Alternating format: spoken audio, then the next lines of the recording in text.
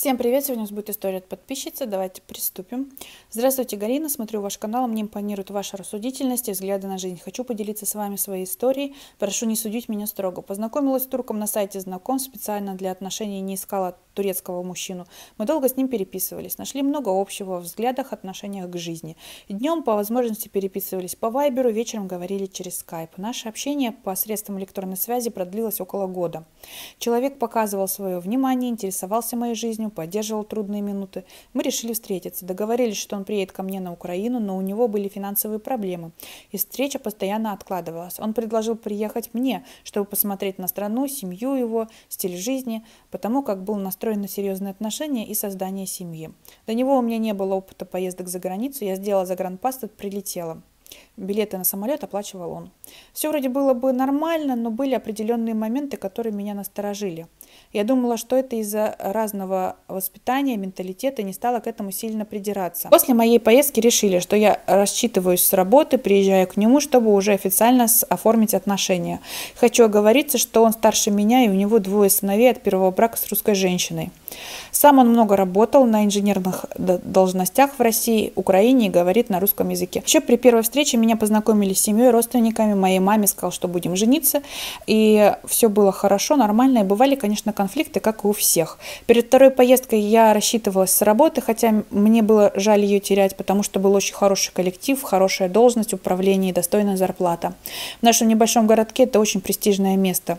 А, но я же ехала к любимому человеку, поэтому решилась на это. Мы были счастливы, но при всех обещаниях жениться у него оставалась анкета на сайте знакомств. Я дала ему вопрос, почему и зачем, если ты уже определился. Потом оказалось, что у него не только на этом сайте есть анкета. Об этом я узнала, когда открыла его в телефон.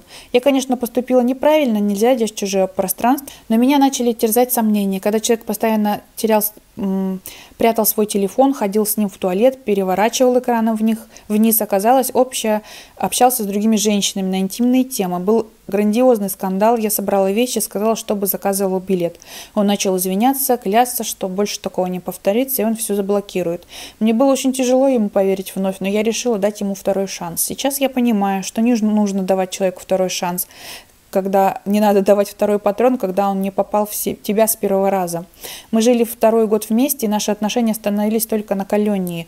И я все делаю не так, не умею готовить, не умею с ним говорить, не умею быть такой, как он хочет. Ко всему придирки, говорит, что он меня кормит. Да, это так, но это временно, так как планировала пойти здесь работать.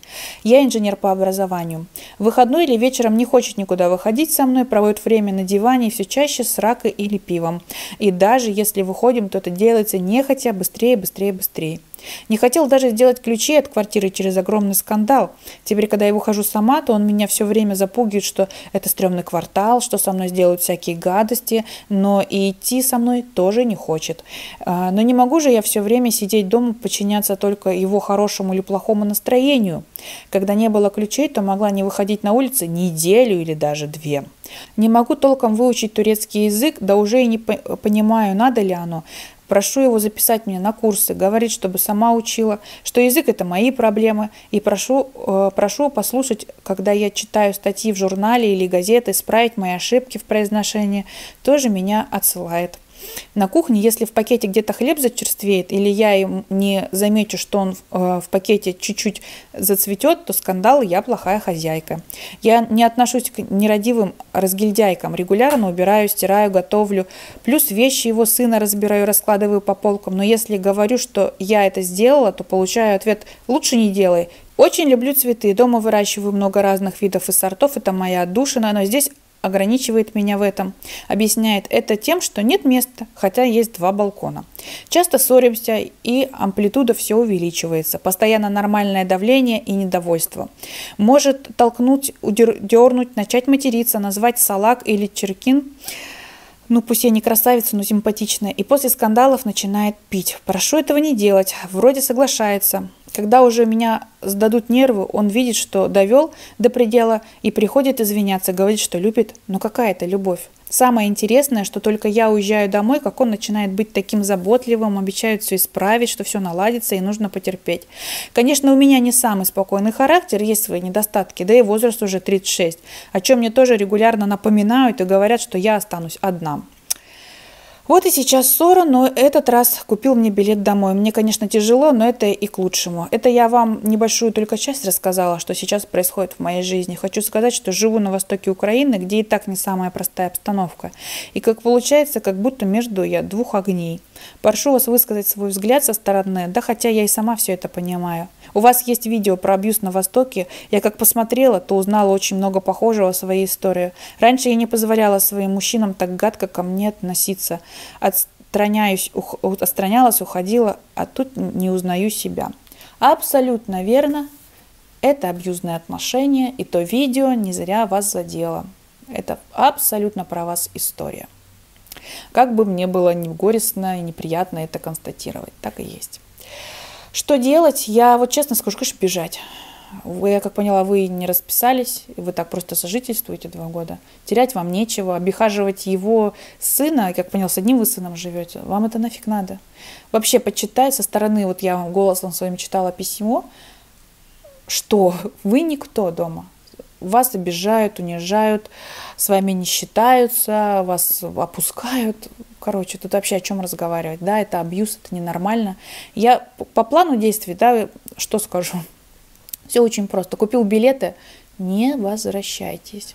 Вот и все. Соберите вещички, самые важные, главное, что можете увезти. Либо увозите потихоньку раз за разом. Короче, но пока он вам покупает, такая уже ситуация не очень хорошая. Он у вас побухивать начинает руку поднимать, фыркать-прыкать на вас.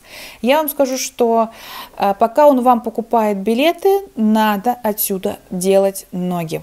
Вот и все. Выбора у вас другого нет. Наступит скоро такая ситуация, что он вообще реально начнет руки распускать, и тогда уже билетов вам не купит, и вы отсюда вообще уехать никак не сможете. Вот что будет страшное. И дотягивать до этой ситуации, ждать этого абсолютно не стоит. Не надо играться с огнем, потом вам будет проблема, проблематично отсюда вообще уехать из Турции. Вы зависите уже сейчас от его настроения. Это типичный абьюзер-садист, который... Я уже миллион раз, девочки, вы мой канал смотрите. Ну, блин, это все в копилочку про вашего мужчину.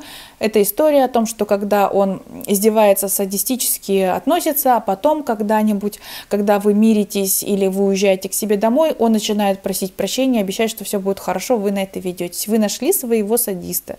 Вы говорите, почему я раньше э, мужчинам не позволяла, вы изменились, да, вы сами все написали, вам 36 лет, и вы боитесь, вам, во-первых, понижают самооценку очень стандартно, страшные, что вы, э, короче, салак вам, нехорошая, там, типа дура, короче говоря, да, вас унижают. Ты готовить не умеешь, стирать ты не умеешь, ничего делать не умеешь. Плохая хозяйка, плохая жена, вообще плохой ты человек.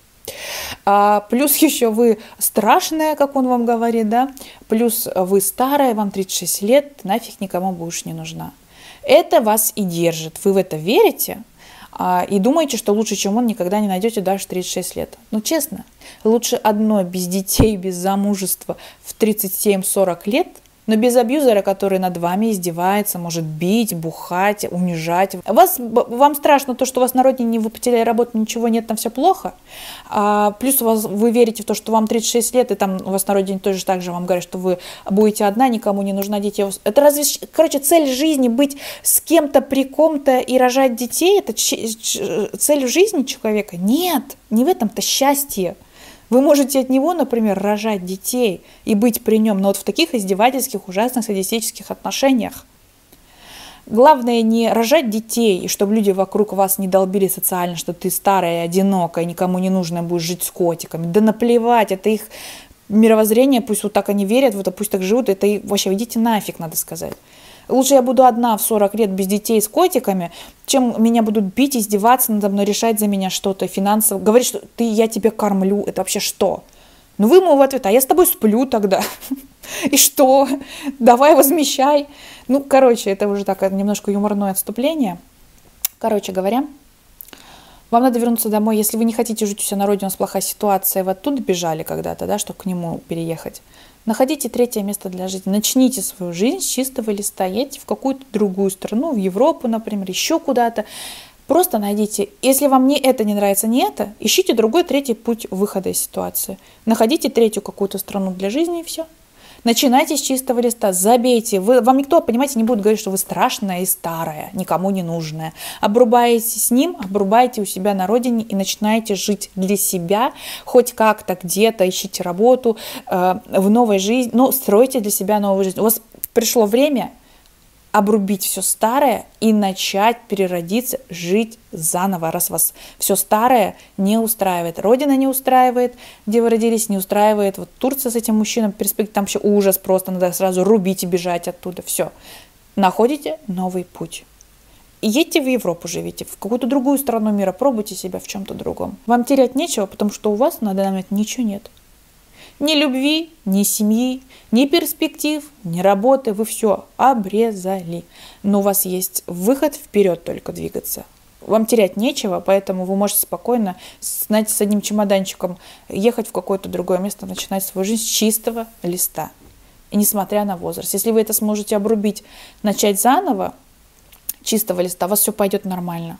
А если вы будете за это держаться, страдать, вам будет, может быть, лень, страшно начинать, так вы будете жить вот в этой трясине, вас будут бить, над вами будут издеваться, вас не будут любить, на родине у вас ничего не получится, там все у вас плохо, у вас всегда везде все будет плохо. Вы только можете все обрубить, короче, и начать сначала. Больше выхода вообще никакого нет. Тыркаться, пыркаться с ним нет. На родину, если вам не хочется там плохо, тоже нет. И находите выход другой, вот все.